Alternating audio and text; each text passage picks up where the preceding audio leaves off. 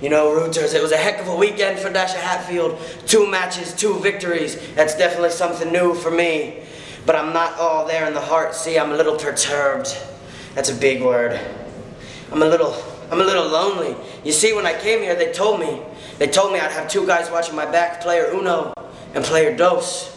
But right now, I haven't even been able to find them. Uno was with me once. I haven't seen him since. I'm not waiting around anymore, guys. I'm gonna go out and get my own backup. Root, root, root for the Dasher.